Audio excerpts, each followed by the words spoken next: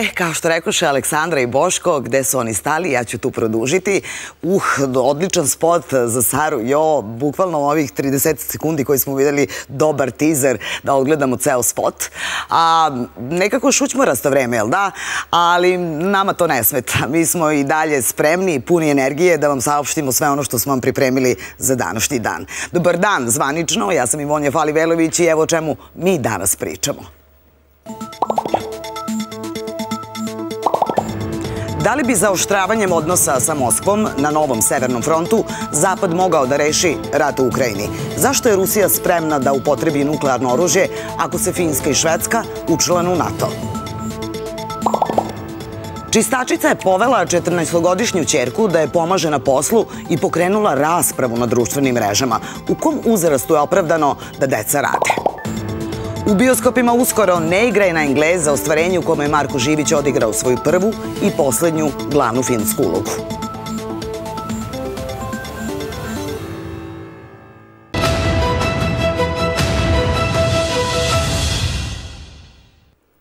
U jeku sukoba u Ukrajini otvara se nove potencijalno žarište za Rusiju. Jedna od zemalja suseda, Finska, koja je do sada bila neutralna, najavlja ulazak u NATO. Ruski zvaničnici na to su zapretili čak i nuklearnim oružjem.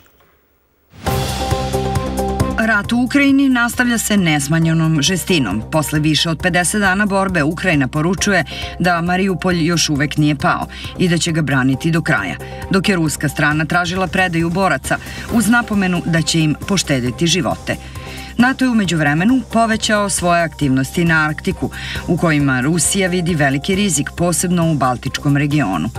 Ulazak Finske u NATO značio bi da se kopnena granica alijanse sa Rusijom udvostručuje. Finska vojska bi za NATO bila prednost jer ova država ima mogućnost da mobiliše oko 280.000 vojnika. Ako bi se ovom savezu pridružila i Švedska, koja se ne graniči sa Rusijom, NATO bi mnogo lakše kontrolisao Baltičko more. U tom slučaju sve zemlje uz Baltik osim Rusije pripadale bi alijansi.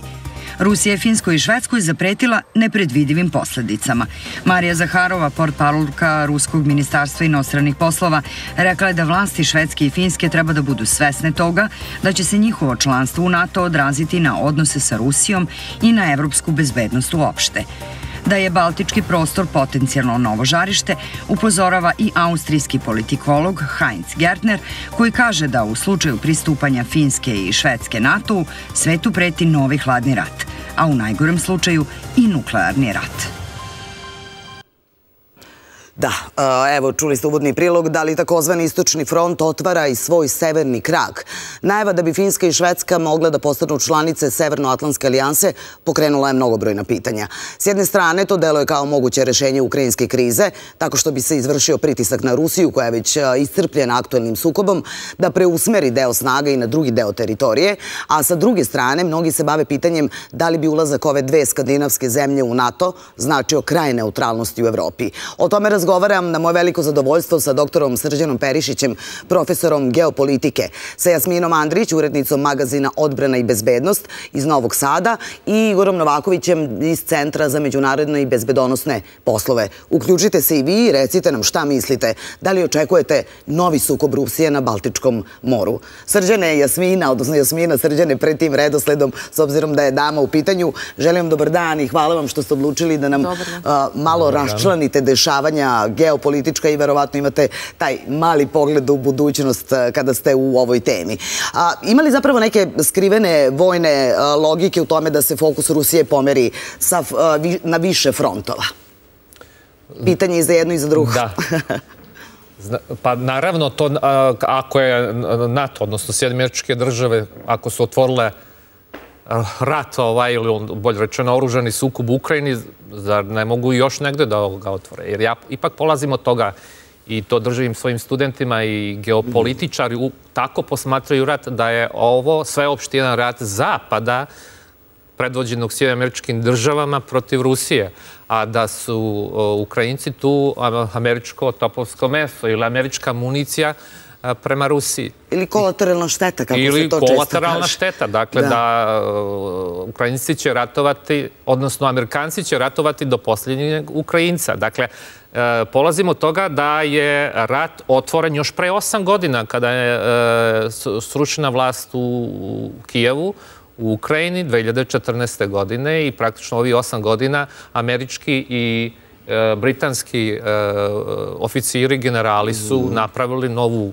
vojsku u Ukrajini koja je koja treba da se, koja se suprostavlja sa, prema Rusiji. Praktično osam godina rat traje i ja sam U, to je prava definicija rata. Rat nije počeo pre e, koliko dana, u februaru da, ove godine. Da, 20, da. U, pre, u, u 24. U 50 i više, pardon, da. da.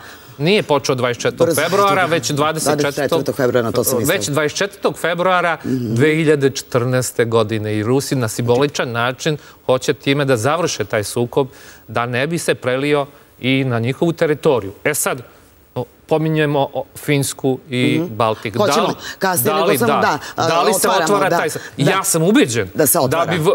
Ne, ja sam ubeđen da bi Amerikanci veoma našli još nekog posrednika da ratuju umjesto njih kao što su Ukrajinci, da to po mogućnosti Poljska, po mogućnosti Baltičke države mhm. e, ili Finska i Švedska. Tako da... Da su posrednici, vi vidite tako, da. Dakle, ovo je posrednički rat kao što je bilo u Gruziji 2008. godine. Mhm. Dakle, kada je Gruzija ratovala za interese Asije američke država protiv mhm. ruskih interesa na Kavkazu. To je bio taj kratkotrajni rat, između pet dana je trajao, ali e, Gruzija, nije Gruzija doživjela poraz u tom ratu. Doživjeli su američke države. Mi sad sad gledamo to isto, samo naravno drugačija država, nije mala Gruzija, već je e, Ukrajina koja ima blizu 40 miliona stanovnika. E, i koja u ovih osam godina je praktično napravljena da bude antirusija. Neprijateljska država koja u svakom momentu može ne samo da postane članica NATO-a, kao što sad Finska ili Švedska e, razmatra se o to, o to pitanje, nego i da na svojoj teritoriji, kao što je Zelenski najavio nekoliko dana pre ovog oruženog sukoba, da će ovaj, biti nuklearna država. A, Jasmina, dakle, to su sve povodi povodi da bili u ruskoj vojnoj intervenciji. Da li bi za oštravanjem odnosa zapravo sa Moskvom Zapad mogao da reši rat u Ukrajini? Pa, tema je dosta široka ovako kad pogledamo, ali da se vratim na ovo vaše prethodno mhm. pitanje, gledano iz vojničkog ugla, Da li bi rat na više frontova mogao da bude nešto što bi Rusiju usporilo? Definitivno da. I to može da bude neka vrsta zapadne strategije, podeliti ne samo oružje, već podeliti i pažnju na više strana. Tako da, evo vidimo sad je taj Baltik ovako u središtu pažnje. Ali inače govorilo se i o jednom ostrvu vezano za Japan, gde Rusija također sa Japanom ima određeni spor. Tako da može da bude jedna od strategije strategija. Sad šta ste me pitali? Da, zapravo sam vas pitala da li bi zaoštravanjem sa Moskom odnosa Zapad mogao da reši rat u Ukrajini? Pa ne bi mogao da reši. Mislim da su Rusi izuzetno spremni ušli u ovaj e, sukob i da su spremni na različite vrste i pritisaka i sankcija i da su oni u toj nekoj svojoj e, strategiji predvidjeli šta bi sve moglo da se dogodi. Tako da i ovo što se sve sada dešava, meni onako e, ruska strana deluje poprilično hladnokrvno, suzdržano i mislim da su izuzetno spremni na sve ovo što dolazi sa zapada. Ove dve skandinavske zemlje su neutralne, pa će Igor Novaković iz Centra za međunarodne i bezbedonosne poslove da nam objasni šta to tačno znači. Dobar dan, Igore. Dobar dan. Šta podrazumeva vojna neutralnost? Hvala vam što ste tu ovoga popodneva. Pa, ovo je prva stvar, da odmah račistimo neke stvari. Dakle, neutralnost je jedan pojam koji se tiče pre svega međunarodnog prava, ovaj, koji su preuzeli na, na, na sebe različite ovaj, države u različitom obliku. Švedska i Finska ovaj, su se u nekom smislu ovog statusa već odrekle, ona su ga, odnosno napustile su ga već ulazkom u Europsku uniju 1995. godine. Od te godine ovaj, Finska redovno ističe da ona, da ona nije neutralna, ovaj, samim tim što je i članica Europske unije.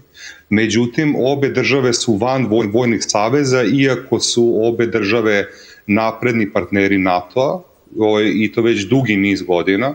Neke od njih, kao, ovaj, odnosno Švedska je, na primjer, učestvovala u, u spostavljanju e, zone neletenja u Libiji 2011. godine, tako da je ona već se isticala i u određenim akcijama koje, ovaj, koje je sprovodio NATO, dakako sa sankcijom Saveta bezbednosti UN. Ono što moram da vas pitam, aha, da, kažete, kažete vi do kraja, naravno. Ove, i, ove, I bitno je spomenuti i da su obe države učestvovale u misiji ISAF u Afganistanu koje je, ove, koje je u jednom momentu preuzeo NATO. E, ono što ja htedog da vas pitam, po čemu se zapravo razlikuje neutralnost ove dve zemlje? Finske i zapravo za koji je taj status više pragmatičan, stiče se utisak u odnosu na Švedsku, koja je neutralnost, pa, kako se kaže, nacionalna neutralnost. E, tako se oni negde opredelju. Koje su to razlike još? Kako ih vi vidite? Pa ima, ovaj, ima dva momenta. Prvo je ovaj, Prvi moment je onaj koji se tiče Švedske, koja je ostala izvan oba svetska rata i po njihovom nacionalnom mitu, u suštini oni od 1815. godine ovaj, su neutralna zemlja, mada to nije do kraja tačno. Međutim, ovaj, a što se, a što se ti, tiče Finske, tu je stvar vrlo, kao, kao što ste sami rekli, vrlo pragmatična. Ona je bila neutralizovana zemlja, ovaj, sporazum o saradnji prijateljstva su sa Savezom, čini, ovaj, čini mi se iz 46. ili 47. godine koji je prestao da važi 92. Od tada ova država pokušava u stvari da, ovaj, da, da naglasi svoju samostalnost i slobodu vođenja i i bezbednostne i odbrambene politike u odnosu na sve susede, ali vrlo jasno izbjegavala da uđe u to jer bi to uh, prouzrokovalo određene negativne ove reakcije sa od strane Rusije i, i vrlo verovatno stabilizovalo situaciju na, na Baltiku. U ovom momentu, a, ovaj, odnosno još od, ovaj, od prve ruske invazije na, na Ukrajinu, odnosno od okupacije e, Krima, a pobune u ovaj, Donjecku i Lugansku, obe ove države u stvari menjaju svoj pristup, učvršćuju svoje veze sa NATO, Ovaj, i, ali obe države su takođe bile veoma, veoma suzdržane kada je reč o eventualnom pristupanju, odnosno organizaciji ulaska, ulaska u alijansu. Međutim, najnovija invazija Ukrajine, koja je počela 24. februara, je radikalno promenila situaciju ovaj, i sada eh, ovaj, čak i oni koji su najmanje podržavali eventualni ulazak, a to su bili građani obe ove zemlje, su radikalno promenili svoje stavove, tako da sad imamo unisono u stvari ne unison, ali većinsko, većinsko zastupanje mogućnosti ulaska ove zemlje u NATO i od strane elite i od strane ove stanovništvo ove zemlje. Da, baš rapidno, kada bismo napravili jednu vrstu analize, možemo doći upravo do ovog zaključka koji ste vi sada rekli kada govorimo i o samim građanima, pogotovo za šveđane je nekako čudno jer znamo da je njihov identitet zapravo na tome potiče, na toj neutralnosti. Ali Finska je zemlja koja se graniči sa Rusijom i 1917. godine je stekla nezavisnost od Rusije. Sa Švedskom to nije slučaj. A otkud zapravo da su ove dve zemlje našle neki zajednički strateški strateški interes ili pravac u ovoj situaciji? Pa vidite, u suštini još od 2014. godine obe države u stvari prave zajedničke planove koje se tiču odbrane u slučaju eventualne invazije Rusije. Dakle, one su dogova, blisko sarađivale i dogovarale oko saradnje i čini mi se u stvari da ulazak jedne od njih automatski povlači ulazak druge u Severnoatlantsku alijansu. To se presosi na na Švedsku. Dakle, ukoliko bi se Finska odlučila na ulazak u NATO, u u istom momentu verovatno bi bila podata i švedska aplikacija. Međutim, to je, opet bih hteo da, i, da istaknem, to je, ovo nije automatski proces, dakle, vi podnesete aplikaciju i odmah ste članice, to veoma, veoma zavisi od same Euroatlantske alijanse i od procene bezbednostne situacije. Ostanite tu sa nama i hvala vam što to činite ovog popodneva i objašnjavate nam sve ono što je trenutno aktuelno, a moramo videti i imati taj pogled i u prošlost, a boga mi kad su geopolitičari u pitanju i u budućnost, takođe i vojska. Jasmina, ono što želim da vas pitam, malo smo se onako svi štrecnuli kada je Rusija imala tako jasan stav ukoliko ove dve zemlje uđu u pakt sa NATO-om. Zapravo tu se onda pominje već ozbiljno, odnosno nuklearno naoružanje. Ja bih sad... I delovanje iz istog. Pre nego što vam odgovorim na to pitanje, mhm. rekla bih da se ne slažem u potpunosti sa kolegom. Izvolite, naravno. Što je on rekao. Tu smo da razgovaramo. Da, vezano za tu vojnu neutralnost Švedske i Finske. Naime, treba razlikovati političku neutralnost, što bi bila Evropska unija. Dakle, Finska i Švedska nisu politički neutralne, kao što nije ni Srbija koja se nalazi na evropskom putu. Vojna neutralnost podrazumeva članstvo u nekom savezu.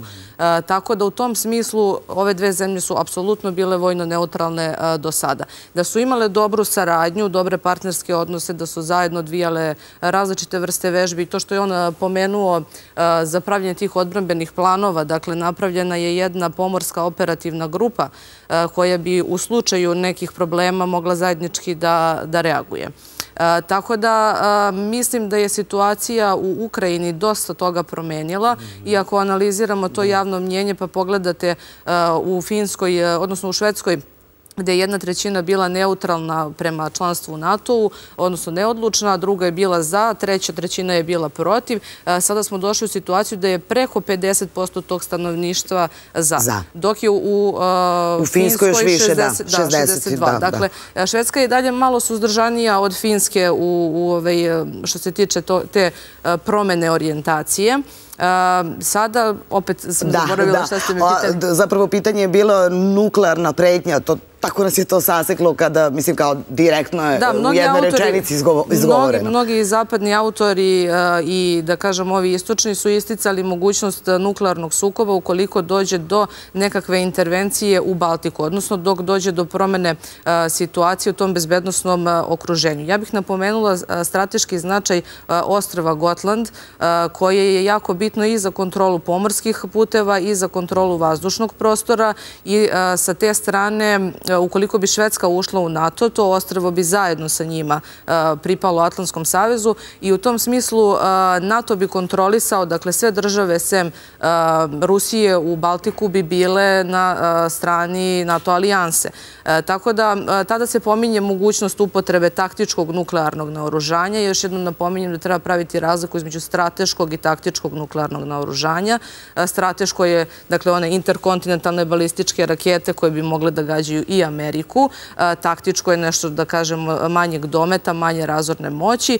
I ono što, evo da ne dužim priču, E, što je još interesantno, e, to je ta Kaljingradska e, oblast koja je fizički izolovana. To ćemo malo kasnije, pričat ćemo o Kaljingradu. Da, ali sam htjela da kažem samo da se u toj oblasti nalaze sistemi S-400 i koji su, da kažemo, veliki odvraćajući faktor u slučaju bilo kakve zapadne intervencije u toj oblasti. Kako vi vidite, Srđene, ovaj, zapravo ovu reakciju koja kao imali prostora za tumačenje od prilike? Ukoliko uđete u NATO, ovaj Rusija će reagovati ovako kako se zove gospodin što je ima uključenje u emisiju? I Igor Novaković. Igor Novaković, kad sam ga slušao, vidi se da potpuno čita e, informacije, ili bolje rečeno dezinformacije koje nam dolaze iz zapadnih medija.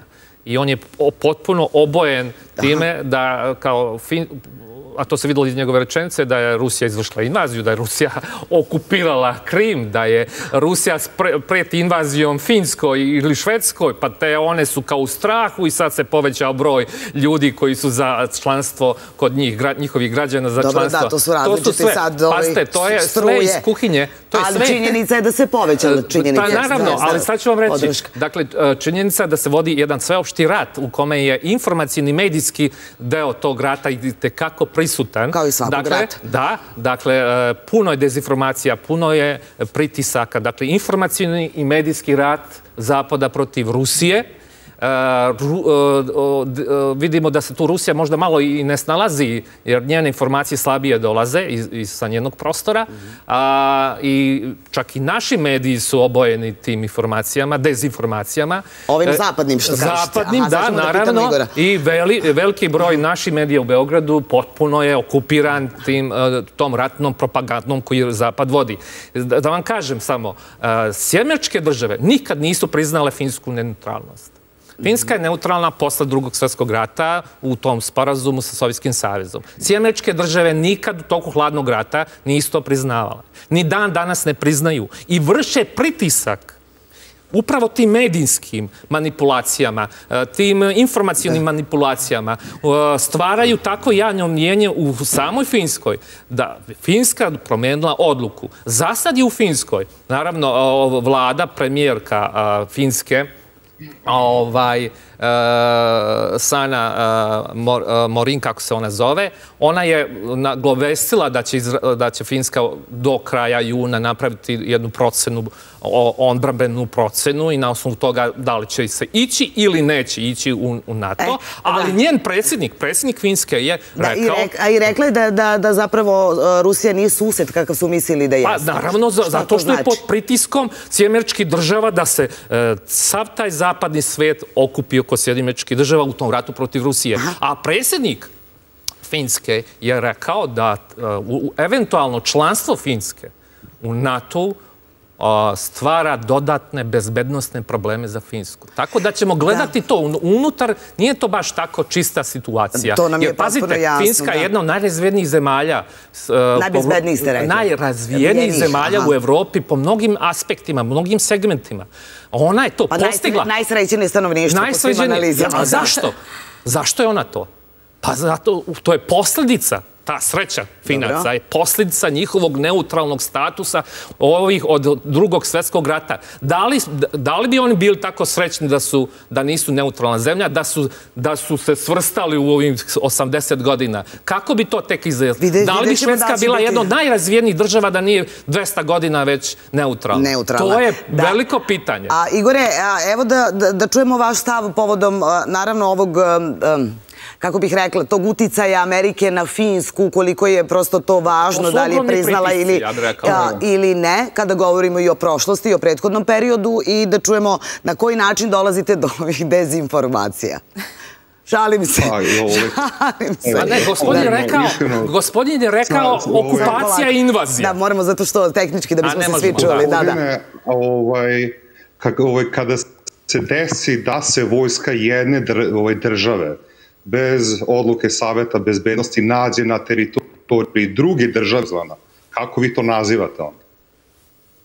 Koje, koje to... Tačno, vojska Sjemerčke država je, uh, i, britanska vojska je ušetala u, u Ukrajinu 2015. godine. Pravo ste, to je, na to je okupacija. Države. Dakle, Ukrajina je okupirana ne, to, 2014. To je na države, A sada? Osvrnite se, ma, se malo na međunarodno pravo. A što se tiče informacije i dezinformacija. Sasvim sam slučajno doktorirao na temi neutralnosti Evropi, tako da mislim da sam ipak malo kompetentniji o tome da pričam. Nije, nije problem ovaj, što vi govorite o e, neutralnosti. E, to, e, sve što ste rekli, ovaj, molim vas, gospodine Igore, sve što ste rekli o, o, neutralnosti, tu nisam nikakve primjedbe dao. Znate, već sam dajem vam primjedbe što vrednostno kako se opredeljujete prema ovom karakteru ovog rata. Dakle, vi ste rekli da je invazija, vi ste rekli da je Krim okupiran, a sve se to desilo 2014. Zašto niste pomenuli 2014. godinu, kada je legalna vlast, stara svega dve godine, srušena? Srušena je Ukrajina 2014. Zašto ste vrednostno na strani Sjedimeričkih država? Zašto vodite rat u Srbiji protiv Rusije? Evo sad stavimo ovdje da bi Igoru dali prostora tehnički. Ja zaista ne želim da pričam ovakvim tonom sa vama ako ne možemo da pričamo civilizovano, ovaj, ja ne, ne, ne, ne vidim ni potrebu pa da. da budemo u zajednoj emisiji. Slušamo vas, Igore, dakle, izvolite, prva, naravno. Imate svoje stvar, vreme. Prva stvar koja, koja se ti, tiče, što se tiče 2014. godine, tamo se jeste desilo zbacivanje vlasti na ulici, ali ja, ja mislim da je Rusija ovaj, imala daleko puno više instrumenta na svom raspolaganju, kojima je da ovaj, mogla da reaguje ne izvrši ovaj okupaciju okupaciju Krima. Dakle i pritom i pritom prilikom te okupacije Putin je čini mi se 24. marta dao izjavu i da se pozove na primjer Kosovo. Tako da onda ovaj u toj u toj ovaj u, u celoj toj perspektivi a, ja ja zaista za, zastupam stavove koji su bliži međunarodnom pravu nego na e, nekom mitskom pravu Rusija može da intervene, da može da ne smeta neše u svom okruženju. Igore, ono što želim da, vas ovaj, pitam... Ono što hoću da vas pitam vezano za SAD i zapravo i za Finsku i za mhm. to prihvatanje neutralnosti, da li je to, koliko je to važno? Prihvatanje ili ne prihvatanje? Evo, samo da se osvrnem isto na nešto što je kolega rekao u svom prvom izlaganju. Dakle, bila je priča da sad Zapad hoće da izazove rat na na sve. Naime, ako i Finjska i Švedska uđu ovaj, u članstvo Severnoatlantske alijanse, onda će tu važiti član 5 uh, eh, Vašington sazuma i u tom slučaju će članice NATO biti obavezne da reaguju. Dakle, ulazak Švedske i Finske u NATO bi u stvari i eventualni rat bi u stvari značilo da će i ceo ući u rat sa Rusijom. Ukoliko se desi to ovo, pristupanje i ukoliko Finska reaguje. Da, ovaj, dakle, čini mi se da da nema ni govor ovaj, kako bih rekao, dubokoj manipulaciji. Svakako NATO ima ovaj, svoju politiku otvorenih vrata prema Rusiji, ovaj, ne prema Rusiji, ovaj, prema Švedskoj i Finskoj, ali meni se čini da je ipak ovde izraženija volja ove dve države šta one hoće da urade. E, sama Švedska, evo, re, e, recimo pričali smo o njenoj e, identitetskoj neutralnosti, recimo tokom hladnog rata je sporazum sa Amerikom o, o ovaj, odbrani, odnosno američkoj pomoći, koji bi došlo do, do ovaj, invazije Švedske od, ovaj, od, od strane Sovjetskog saveza. Sreća ili nesreća građana ovaj, se, ja mislim, ne razvija na osnovu neutralnosti, nego na osnovu pametnih politika njihove vlade, Jedna od njih je bila svakako u slučaju Finske neprovociranje Rusije i težnja da se kroz te multilateralne okvire u stvari ostvari komunikacija i saradnja sa ovom državom. Jedna od njih je bila Evropske unije koju upravo, na kojoj upravo Finska insistirala, a, ovaj, a to je bila severna dimenzija. E sad, dakle, eh, ono, ono što pokušavam da kažem je sledeće. Finska je sve vreme, pošto je bila na neki način nasilno neutralizovana nakon drugog svetskog. Što ja, ovaj, ja mislim da je ovaj, su e, i zapadni veznici donakle i podržali, pre svega zbog toga što je Finska e, bila e, na protivničkoj strani tokom drugog svetskog rata, a sa druge strane što je ovaj, postojala teža ostvari taj, ovaj, ono što će se kasnije nazivati nordijski balans. Ali ono što je suma suma marom svega je da je tokom ovaj, rata i, sa, i kroz nekoliko veoma situacija koje su bile između Finske i SSSR-a, uh, Finska sve ovo vreme bila veoma podozriva prema Ru, Rusiji, da. veoma pažljiva i sve vreme je državala veoma, mhm. ve, veoma snažnu vojsku koja je počivala na regrutnom sistemu i održava i dan danas. Druge neutralne države, poput recimo Švedske, poput recimo Austrije, Švajcar, ovaj, Irska nikad nije bila taj slučaj, su e, ovaj, radikalno smanjile ovaj, e, brojno svoje vojne sile. Igore, ono što hoću da vas pitam, pa ćemo nastaviti sa gostima koji su u studiju, malo nam se i prekida tehnički, pa moramo biti fokusirani na vas. Mhm. Nadam se da ćemo uspeti da odgovorimo na sva pitanja.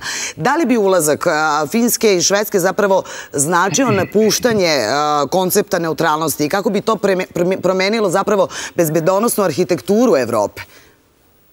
Apsolutno, ovo je prva stvar. Ovo ono čime se neutralnost u, ne, ovaj, u onom, kako bih rekao, suštinskom smislu karakteriše su tri, ovaj, tri uslova. Prvi uslov je da niste ovaj, u odbra, u Vojnom savezu koji ima odbranbenu komponentu, dakle zajedničku odbranu. Drugi uslov je postojanje vojnih baza, neke druge države na vašoj tri. I treći uslov je sposobnost da branite celokupnu svoju teritoriju ovaj, koje, ovaj, koje, koja se nalazi na, ovaj, u, dakle da ne možete lako biti eh, uh, uvučeni u rat i, ovaj, i, i, i to je cela poenta. Ulaskom u NATO, dakako mi više ne možemo da govorimo o neutralnosti ni jedne od ove dve države. One će pod ovaj, eh, obavezne pod članom 5 da reaguju u slučaju vojnog napada na bilo koju od članice Severnoatlantskog saveza i onda u tom smislu one, njihova neutralnost u tom momentu pre. Igore, hvala, ostanite tu sa nama. Jasmina, već ste otvorili temu Kalingrada i evo samo tog podatka da Rusija već ima nuklearno oružje u Baltičkom, Baltičkoj regiji, a ovo je potvrdio litvanski ministar odbrane. Da, šta me pitate? Da, on tvrdi da zapravo je Kaliningrad važan, važan e, zapravo segment, e, ovo o čemu ste vi malo čas govorili, pa sam ja rekla e, kasnije ćemo, i zapravo da je to važna, da li je to važno i u kojoj meri tačka na Baltičkom moru, jer je okružena zemljama koje su pripadnice NATO-a. Da, to je vrlo interesantna jedna oblast, s obzirom da ona pripada Rusiji, dakle to je neka vrsta poluruske enklave, gde vi faktički tim morskim putem možete jedino da dođete do Rusije direktno, da ne ulazite u zemlje Evropske unije. E, ova oblast je jako značajna zato što je, da kažemo, vrlo izložena na tom Baltičkom e, moru i e, tu se nalazi središte ruske flote, da kažemo baltičke flote, ako možemo tako da je nazovemo. I kao što sam pomenula, to taktičko nuklearno naoružanje koje je defanzivnog karaktera, to je jako bitno naglasiti. Da, međutim, to ne znači da u nekom trenutku tu može da se nađe i ofanzivno naoružanje. U tom kontekstu treba posmatrati to ostravo Gotland i Kalingradsku, celokupnu Kalingradsku oblast, ne samo Kalingrad, i razmatrati šta bi bilo kada bi Švedska ušla u NATO. Ja još jednom napominjem da treba razlikovati političku neutralnost i vojnu neutralnost. Ne znam gde je kolega doktorirao na toj temi, ali to ćemo potvrditi ovaj, e, bilo ko. Dakle, još uvek faktički i Švedska i Finska su neutralne države. I ne treba trčati pred rudu i e, vidjet ćemo šta će biti sa tim procesom. Što se tiče NATO-a, NATO, svih 30 članica treba da prihvati njihov zahtev za članstvo. Ali do juna je možda da se dogodi još mnogo toga do tog samita NATO-a, pa ćemo vidjeti da li će uopšte zahtjev biti zvanično podnet i kakve će biti reakcije potom. Da, prosto treba e, spremno prihvatiti, mislim, biti spremani na takvu situaciju ako se gleda korak u napred. Slažite se, Srđane? E, naravno, ulazak, e, eventualni ulazak Finske i Švedske bi usložio situaciju, potpuno bi postala složena situacija na prostoru Baltika, severa Evrope, zato što Rusija bi morala, došlo bi do e, poremećaja ravnoteže snaga. Naravno da svet, e, praktično mir i bezbednost u svetu zasnivaju se na ravnoteži. Čim je ravnoteža snaga, čim je neka strana ovaj, vojno jača, onda se traži da se to izjednači.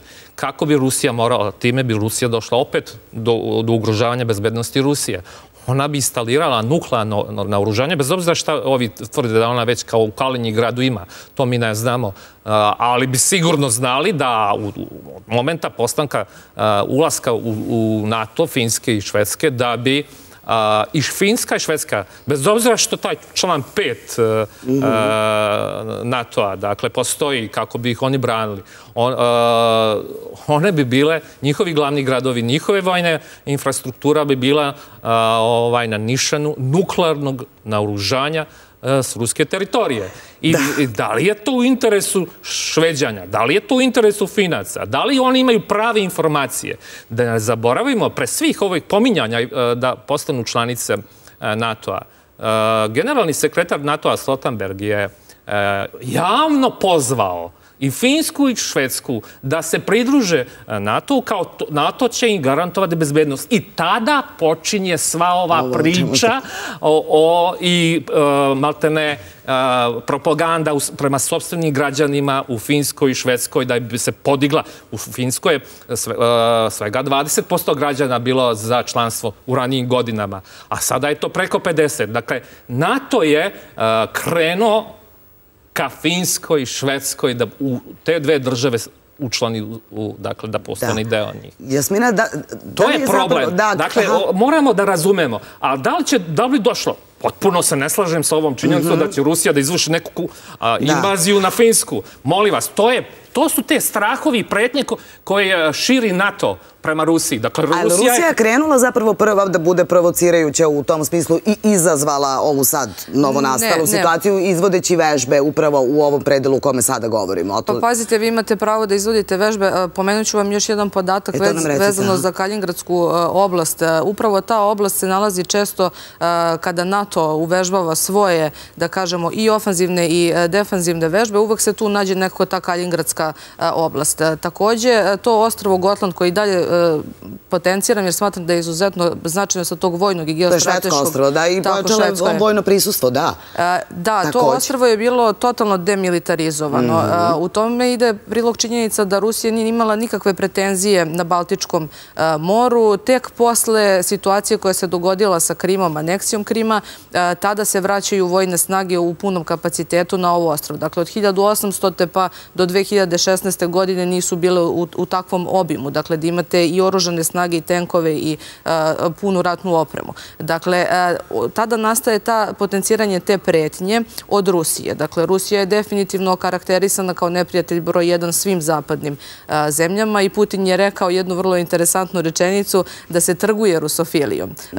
Rusofobijom. Rusofobijom. Da, tako da, ovaj, pa kod nas malo i rusofilijom.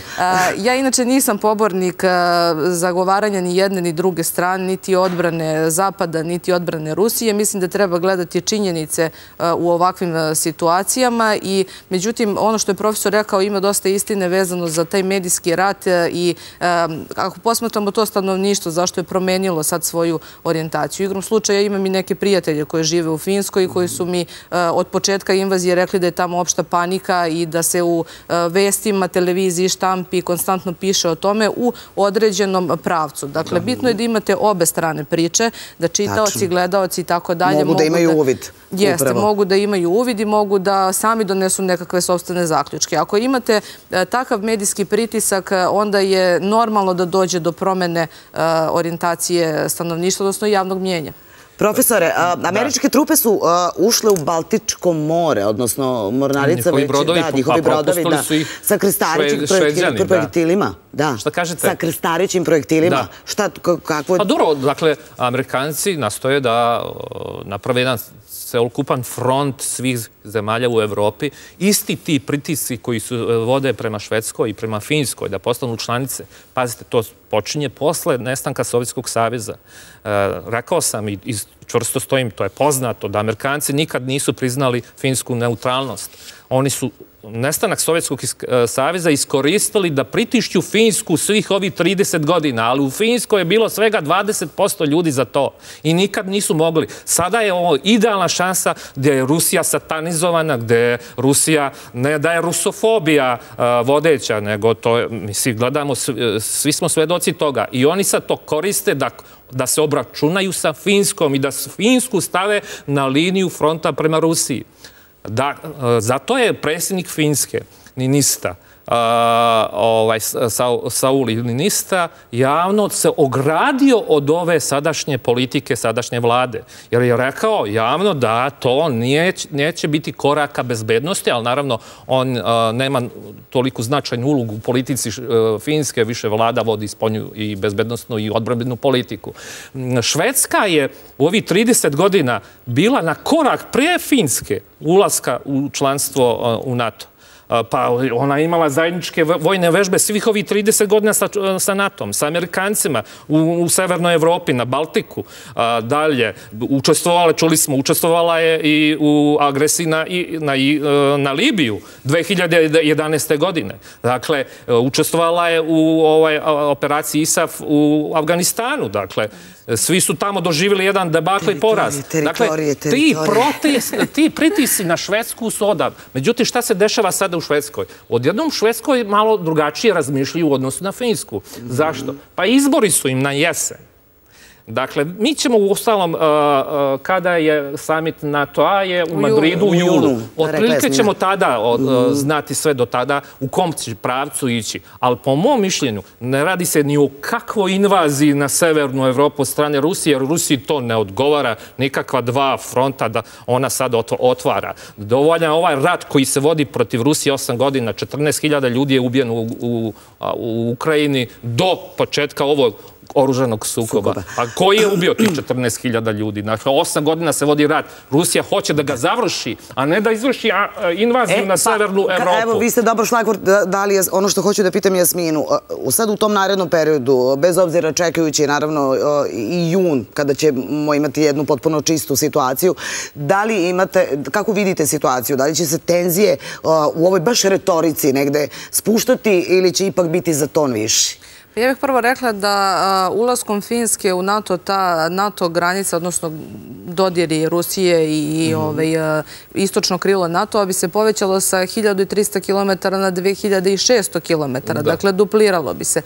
Što znači da bi neprijateljska linija prema Rusiji bila veća, ali to isto vremeno znači da bi NATO imao veću liniju koju mora da brani. Shodno tom članu 5 kolektivne odbrane, dakle, gde bi, ukoliko je ugrožena jedna članica, morale da reaguju i sve ostale članice. E, NATO ima interes e, da se ove dve države priključe e, Savezu iz dva razloga. Prvi je taj geostrateški, to što sam pominjala vezano za ostrovo Gotland i za, da kažemo, te teritorijalne vode i tako dalje. Drugi razlog je upravo što su kolege govorile i jedan i drugi, da su ove države onako bliske po tom odbranbenom sistemu NATO Savezu. Dakle, to i dalje ne znači da je narušena njihova vojna neutralnost, ali su njihovi odbranbeni sistemi ustrojeni po e, NATO standardima, e, imali su zajedničke vežbe, učestvovali su e, na Bliskom i Dalekom istoku i ono što je jako značajno reći, na primjer, Švedska ima 100 borbenih aviona koje bi mogli da doprinesu NATO Savezu. Finska, čuli smo već u prilogu 280 vojnika, 280.000 vojnika koje bi mogli da mobilišu. Također tu su jako značajne i švedske podmornice koje bi mogle da se, da kažemo, pridruže poljskim i nemačkim podmornicama. Dakle, mnogo je tu elemenata. Dakle, sa vojnog aspekta, ove dve države su kompatibilne sa zapadnom alijansom. Sa strateškog aspekta, one mogu i tekako da doprinesu. E sada, da li će ta retorika da se zaoštrava? U kom će to pravcu da ide? To je ono što sam rekla, ne treba trčati pred rudu. Ja mislim da iako ove dve države su izuzetno ekonomski snažne, stabilne i tako dalje jake, da i one neće u ovom slučaju odlučivati samostalno. Jer mislim da se sve vodi na dijalogu e, Zapad-Istok, odnosno Rusija i Sjedinjene američke države. Ukoliko ove e, dve strane nađu nekakav e, dogovor, ukoliko se rat završi pre tog juna, vrlo je moguće da ne dođe uopšte do podnošenja takvog zahteva ili je moguće da se to stopira. Tako da e, treba vidjeti šta će biti na kraju. Da, ali nekako brzo leti vreme. Evo zato smo konstatovali koliko je zapravo već prošlo dana od početka sukoba 52, 53, a meni se učinilo da je manje. U svakom slučaju sad idemo malo na relaksiraniju temu, a tiče se isto i Finske i Švedske. I zapravo ove dve zemlje nekada davno postavili su na noge najpoznatiji sto na svetu. Naša Danica, to je onaj švedski sto, dobro poznat. Naša Danica će nam sada poslužiti jednu zanimljivu priču. Danice, o čemu se zapravo radi? Ne samo što ću poslužiti jednu zanimljivu priču, već ću vam pokazati kako se pravi jedan sto koji je kod nas poznat kao švedski sto i gde je, koji korene ima i u Finskoj i u Švedskoj, ali više o tome reći će nam glavni kuvar ovde u hotelu, Marko Radosavljević. Marko, dobar dan kako je nastala ideja švedskog stola, odakle švedski sto vuče korene? Pa znate šta, ovaj, ideja je nastala u nordijskim zemljama, zato što je, da kažem, u dalekoj prošlosti gostionice koje su služile hranu i piće nisu imale dovoljno radnika i hrana i piće se služila na jednom stolu. I onda su gosti dolazili sami, uzimali šta su hteli da popiju, šta su hteli da pojedu i uglavnom se to vezalo za te neke njihove likere, rumove, oni služe, da kažem, šveđani i finci služe dosta sveže ribe, da kažem, uh, ove sušene ribe, svežih mesa i onda se to raspros, uh, e, da kažem, krenulo je, uh, ekspanzija u Evropi je došla u, da kažem, početkom 20. veka. A šta mora da ima jedan švedski sto? Pa švedski sto, generalno osnovna, osnovna, osnovni sadržaj švedskog stola su hladna jela, topla jela i dezerti. Mada u današnje vreme to baš raznovrsno, pošto postoje savremene tehnike kuvanja, e, savremene tehnike serviranja, dosta, dosta namirnica u današnje vreme koje nekada nisu postojale, danas su nam vrlo, vrlo pristupačne, tako da generalno e, dosta, dosta toga možemo poslužiti na švedskom stolu. Kažete da je ekspanzija švedskog stola u svetu krenula u 20. veku, a kada je švedski sto stigao u Srbiju? Pa ja mislim da je stigao, nemam tačnu informaciju, ali mislim da je stigao 60. godina, da kažem, prošlog veka kada je najviše zbog čega, pomenuli ste mi pa i Tita. Jesam, pa za vreme Josipa Broza Tita su postojali ti banketi sa velikim državnicima raznih zemalja i onda su naši kuvari hteli da pokažu raznovrsnost uh, spremanja naših jela, odnosno internacionalnih, tako da je u to vreme baš, baš doživjela ekspanziju švedski stolovi kao usluga u hotelima. I samo kratko za kraj, mi ovde nemamo ograničenja u jelu, pa da li se neki put desilo da evo ovako kao što ćemo i mi sada uraditi, moramo uzeti još jednu stolicu, da li se desilo da neko dođe ovako i sedne za švedski sto zato što je sve tako dostupno? Ja generalno nisam imao ovaj situacija, bar ne u našem hotelu Mona Plaza, nismo imali ovaj takvi situacija, ali generalno verovatno se možda dešava. Mi ćemo to sad svakako raditi. Ivon, počinjemo da uživamo u švedskom stolu i baš smo seli za švedski sto. Ne znam koliko je to sad ovaj, e, ono što bi se reklo po pravilniku, ali ovaj, verovatno čim ti je šef kuhinje rekao da jeste, onda poštujemo. A naravno, evo i Srđan kaže, ovaj, boga mi, ja sam video kao ljude kada se sve završe, onda priđu u švedskom stolu i sve ono što je na meniju. Rekla sam, evo sad dok smo gledali ovu priču, da, mi se vraćamo na vojni meni, nažalost, a rekli smo, svo troje smo se složili kako bi bilo lepo sad da pričamo o Švedskoj kao destinaciji, uspešnoj zemlji i o švedskom stolu, međutim, situacija je značajno drugačije. U trenutku kada je Danica počela, vi ste imali još jednu rečenicu da dodate posle Jasmine, pa evo dajem vam vreme i priliku. Pa evo da, Švedska od 1812. od Napoleonovih ratova nije ratovala, je li tako? Mhm.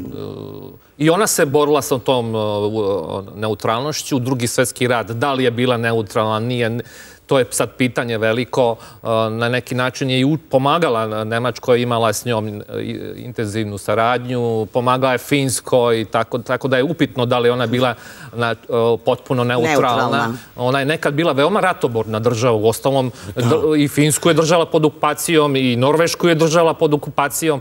Dakle, ti njeni susedi nemaju neku lepu istoriju sa Švedskom. Međutim, u posljednjih 30 godina ta Švedska Švedska je e, praktično od ubistva njenog premijera Olofa Palma. Mhm. Praktično od tih godina je pritisak jak na Švedsku da se ona opredeli za Zapad, da se opredeli za NATO, da se svrsta tada i ovi 30 i više godina ona je odoljevala. Ali sada očito Washington nema nikakve neutralnosti. To se odnosi i na Srbiju.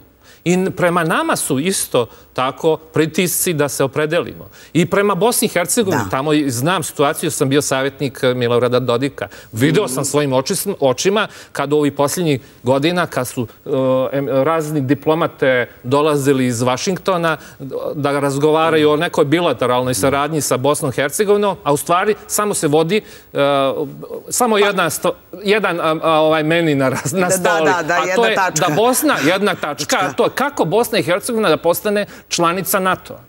Dakle, I to je sad pritisak također. I to je sad. Dakle, sve se vrti oko toga. I plašim se, i time završim, plašim se da ovaj, da će se ostvariti ona knjiga Samuela Huntingtona, Sukob civilizacija, gde i Švedska i Finska pripada i toj zapadno katoličko-protestantskoj civilizaciji, dakle, i da će praktično linija sukoba ili sučeljavanja ili linija frontova biti između te zapadne civilizacije i istočno pa pravoslavne, gde mi pripadamo. Pa onda se vraćamo opet na krstaške, ali neću to sada da otvorim jer ćemo ostati do večeras, nego evo toliko nam je vremena ostalo, Jasmina, jer zapravo ideja, evo, bez naravno tih uh, popularnih priča, ali zaista uh, potpuni nestanak neutralnosti kada su sve zemlje, pošto vidim da ste na Srbiju baš odregovali, rekli ste da i ovde se uh, vrši pritisak. Pa da, mi smo svedoci evo, u svakoj nekoj situaciji vezano i za pandemiju koronavirusa, šta god da uradite, dođu neki pritisci, iako uradite nešto dobro za vašu državu i e, to je onako protiv čega morate svakodnevno da se borite i naše rukovodstvo a i mi ovako koji smo javno prisutni, ovaj, koji utičemo na neki način na javno mnjenje. E, što se tiče te e, neutralnosti i suverenosti država, mislim da postoji ovako jedan malo širi veći sukob već nekoliko decenija, koji sad onako poprilično izbija na površinu. A to je sukob s jedne strane globalista i e, onih, da kažemo, tih pripadnika više zapadnih civilizacija koji žele da svet bude, da kažemo, to globalno selo i imate sa druge strane buđenje tih desničarskih pokreta koji se i tekako zalažu za očuvanje suverenosti sobstvenih država. I sada je to ovako pritisak sa dve strane. Kada pominjemo Švedsku, videli ste da je bilo sada i nekih aktivnosti desničarskih organizacija u toj državi, pa su bili i protesti, spaljenje kuran i tako dalje. Mhm. Tako da, pogledajte Francusku, gde Le Pen gotovo da nije pobedila na izborima, koliku podršku je dobila. Da, bilo je blizu. Da, mhm. onda pogledajte i Nemačku i tako dalje. Dakle, desničarski pokreti, pa čak i kod nas u Srbiji, ovde su se snažno probudili. To nije bez razloga. Dakle, osjeća se taj pritisak globalizacije i vidjet ćemo u kom pravcu će to da ode. Ali to je jedan ovako širi sukob gde u tom kontekstu možemo i Ukrajinu da posmatramo. Veliko hvala. Mislim, ovde stavljamo nekako samo zarez, pratit ćemo budnim okom kako drugačije sve ono što se bude dešavalo i vidimo se u junu. Pa, pa ćemo opet na ovu temu posle zasedanja NATO-a. Da vidimo što kažu naši gledalci, to će mi biti zanimljivo. Zapravo šta misle? 65% ne očekuje još jedan sukob bukom je Rusija, dok 35% ostavlja mogućnost za oštravanja vojnih odnosa i na Baltiku. Pa realni su vam gledalci. Realni su. Pa da, takve i očekujemo. Veliko hvala što ste bili ovog popodneva tu. Ništa, kratak džingl, pa onda imam nešto novo da vam kažem.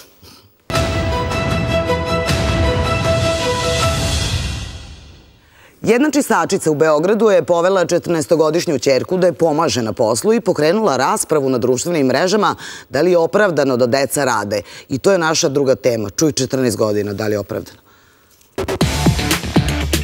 Kada treba da počnu da rade kućne poslove? Kada je vreme da pođu sa bakom i dekom na njivu?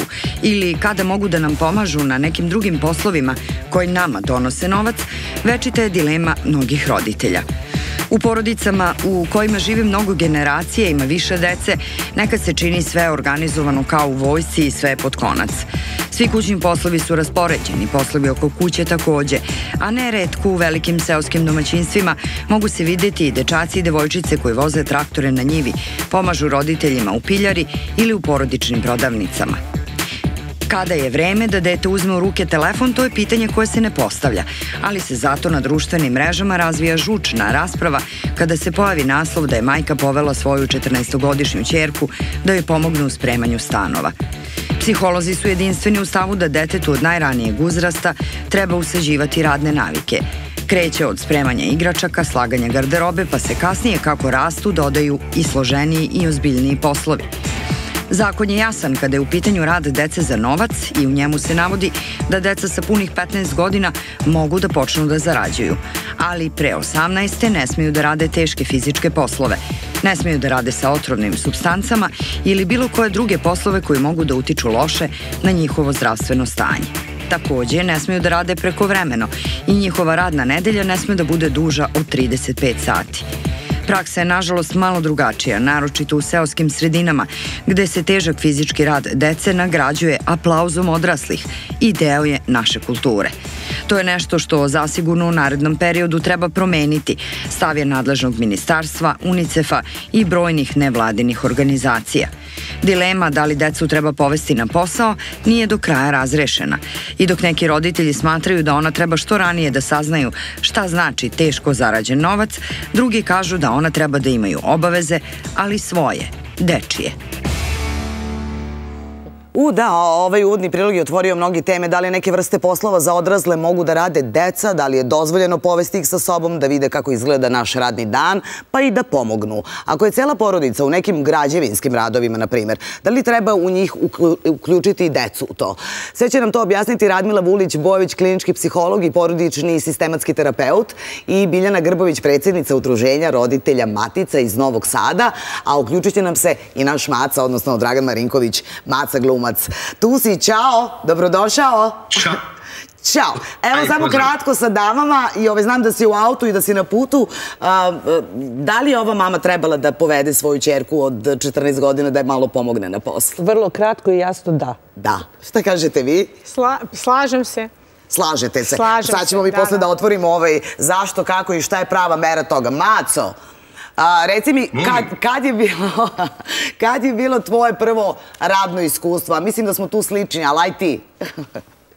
Je, sa 13 i pol godina zaposlio se u pekari i tad izadio ličnu kartu, pošto sam morao neki radni nalog imat, pa onda me šetali ko labradora i napokon to uzem, više nikad nisam stao da radim. Potpuno se slažem sa tvojim gošćama, znači, apsolutno treba djetetu stvarati radne navike, mislim da je a, jer sa 18 postaje dijete pravno i moralno odgovorno za svoje postupke a, i apsolutno bez radnih navika i, i, i obaveza, pra, znači postoje uvijek u životu prava i obaveze. Ako ti kao roditelj koji si onaj, nadaren od Boga da budeš roditelj i ti sad mu samo vališ tu igračku. Malo prije ovo prilog bio odlična paralela kao a ne pitamo se s koliko godina treba djetetu dati telefon i tu se ne vode žučne rasprave, ali ovdje se kao, bože moj, visoko moralni i tako dalje. Sve što je normalno danas je fa, e, e, fašistoidno, a sve što je fašistoidno danas je nova normalnost.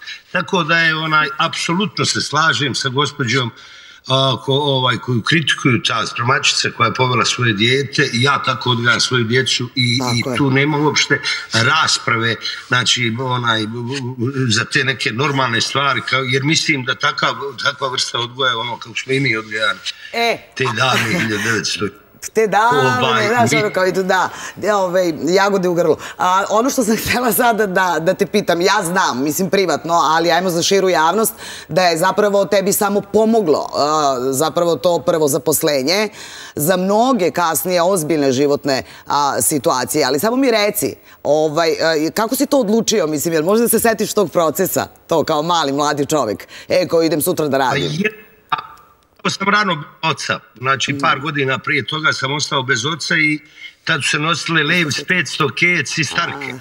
A, ja nikad nisam bio ni, ni gladan, ni, ni, ni neodjeven, ni ostalo, ali ipak za 500, jer sam tako odgojen, mama, izvini, imaš li para? I ona kaže, šta je, oči moje?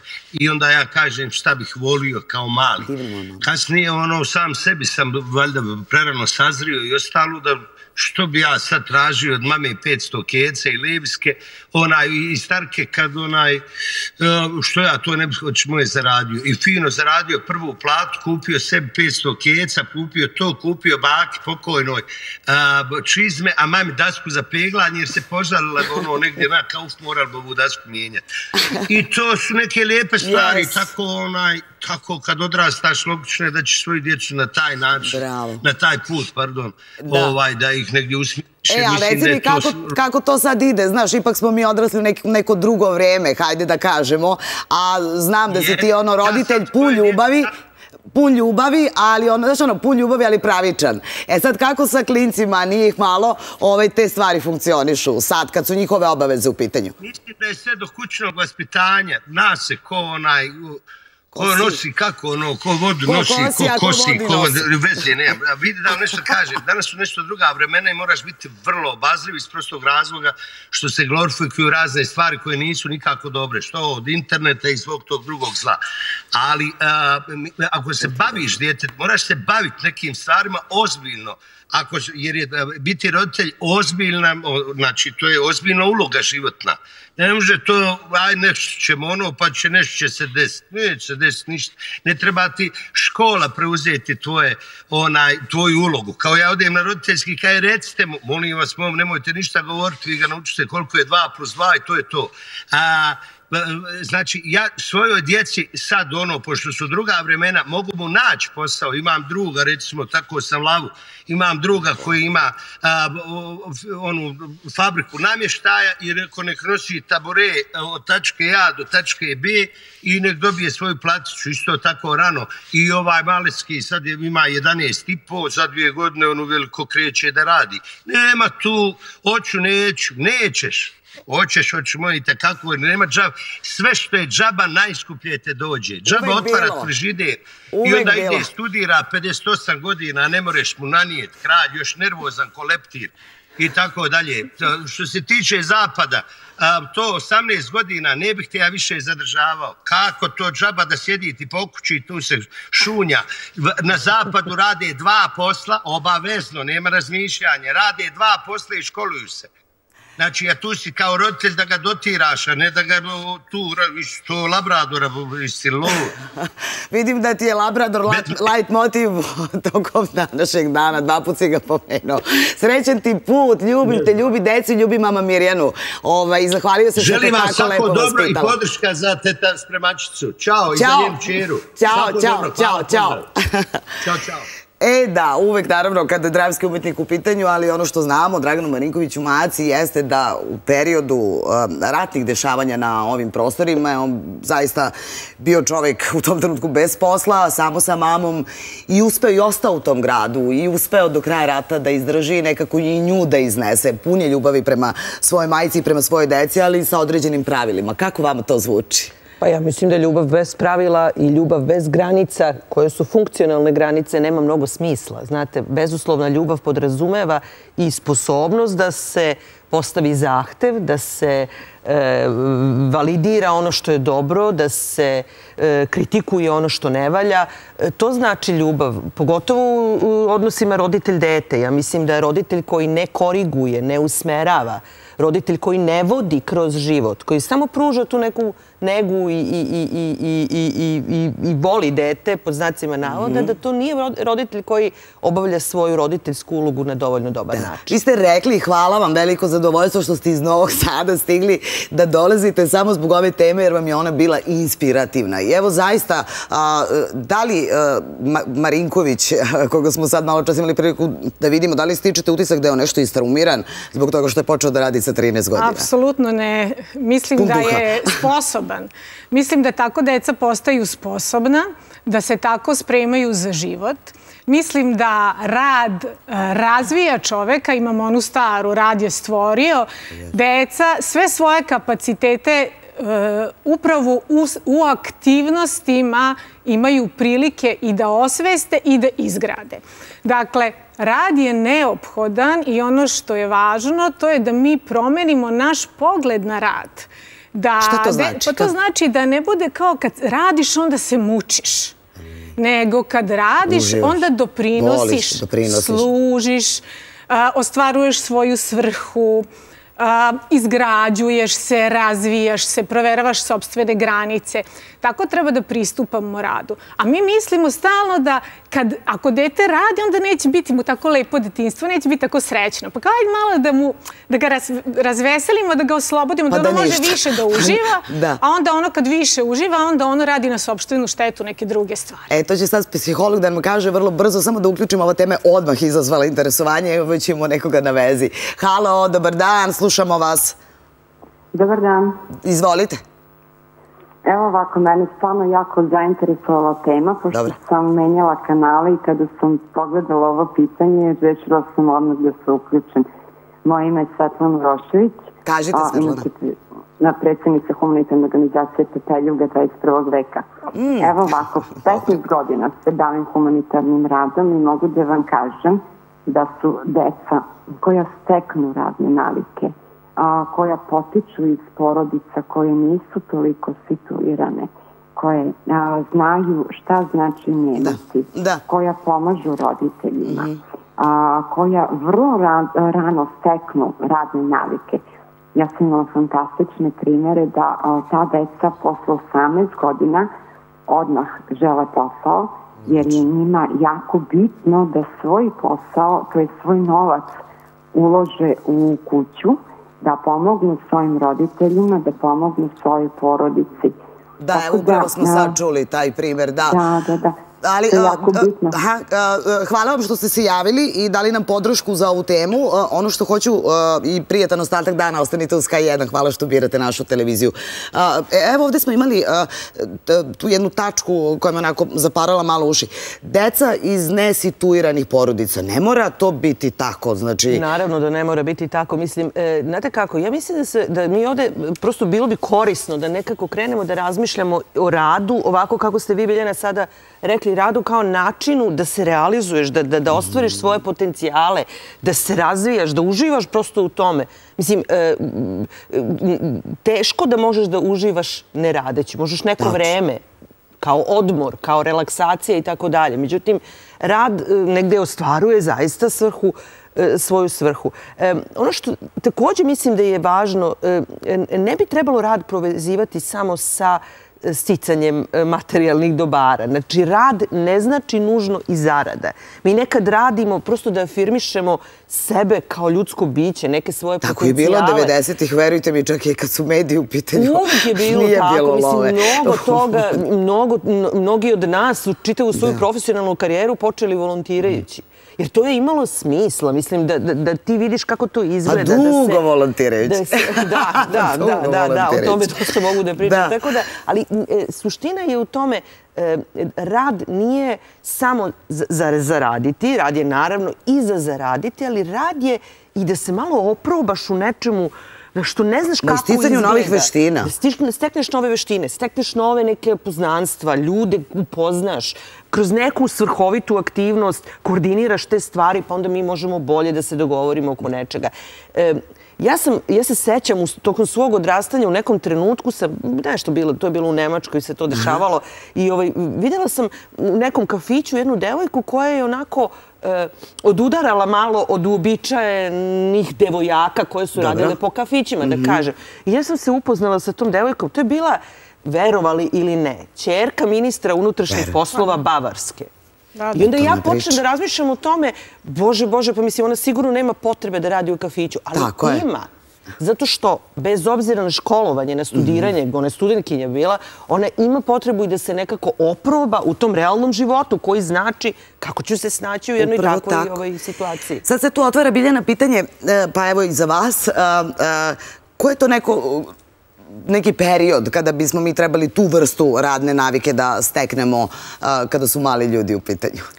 Pa deca se radnim navikama uče odmah. Dobro, znači, nema odmah. Tačno, bukvalno odmah. Znate, čim dete može da drži kašičicu, ono treba samo da drži kašičicu, to vam je jedna aktivnost. Mhm. I za razliku od situacije u kojoj ga mama hrani, dete je aktivno, dete se razvija i dete, kako kažem, napreduje u svakom pogledu.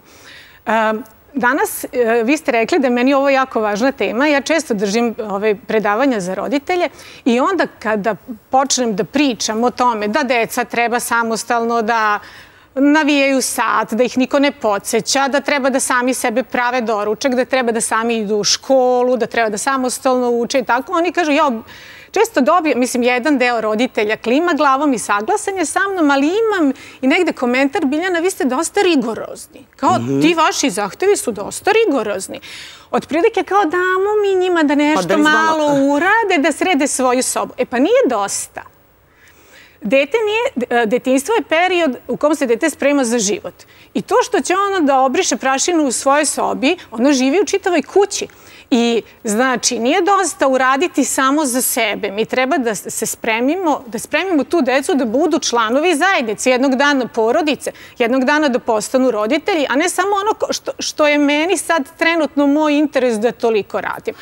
Imamo sad kadrove, izvinjam se što sam pregledala, nego imamo baš kadrove kućnih radova u smislu krećenje sad početka građevinske sezone i svega toga. To je njima isto zanimljivo. Mislim, kako da kažem, i to ovo implementiranje. Svi smo zajedno u nekom poslu. To je isto dobar način. Kada imate primjer, jer to jesu modeli po kojima se mi gradimo, to jesu naši roditelji. Jeste. S tim što bih ja volila da ne bude zabune za roditelje, mhm. da rad nije uvek prijatnost. I da je rad između ostalog... To je tačno, sećam se koliko sam nameštala one zavese s onim sitnim, kao pa boli me ruka, ali mora dalje. Tako je. Tako da rad podrazumeva pripremu na teškoću. I mhm. roditelji treba toga da budu svesni. Da ne sad samo dete treba da uživa u radu, pa radi do one mere do koje uživa. Ne. Ja sam nekad, pošto isto imam svoju decu i ovaj, imamo vinograd koji smo između ostalog baš eto zbog tog fizičkog rada, kontakta sa prirodom i svemu ono što fali deci. I sećam se da je, evo, najmlađe dete, kad je taj prvi put, znate, ono leto je, pa sad zalamaš onaj vinograd, pa sad na početku, dva, tri čokota, super je to. Ali posle počnete da se znojite, pa posnu pčelice, pa bubice, pa čučni ustani, pa ti toplo, pa ti jako sunce, pa se on kaže, o, mama, gubim živce. Ja kažem, ne, Miki, stičeš. Sad ih stičeš. Sad ih stičeš, bravo. I to ne posle tri čokota, nego posle tri, četiri reda. I znači to treba da bude jasno roditeljima, da taj rad jeste suštinski, mi na njega treba da naučimo, da gledamo kao na doprinos, kao na jedno zadovoljstvo, na jedno ispunjenje svrhe, ali on podrazumeva znoj. Krv, suze i znoj. Dobro, ali ovdje je sada rečeno nešto što je izuzetno važno. Da, da, da, ovo je toliko mudro, jest. Ovaj, u vaspitnom smislu, ja mislim da je razlika između uspešnog i neuspešnog, ako hoćete, mm. vaspitanja, zapravo sposobnost da se toleriše frustracija. Vi danas imate generacije i generacije dece i mladih koji imaju nultu frustracijenu toleranciju, koji i na najmanji da kažem, na najmanji neki, eto tako, kako da kažem, zahtev, reaguju burno. Ne priznaju ni autoritet, ni da, da, da. To što ne priznaju autoritet je druge par rukava. Još druge par rukava, ali mislim, oni nisu u stanju da se, da se stvarno, neki od njih nisu u stanju da se pomuče ni oko čega.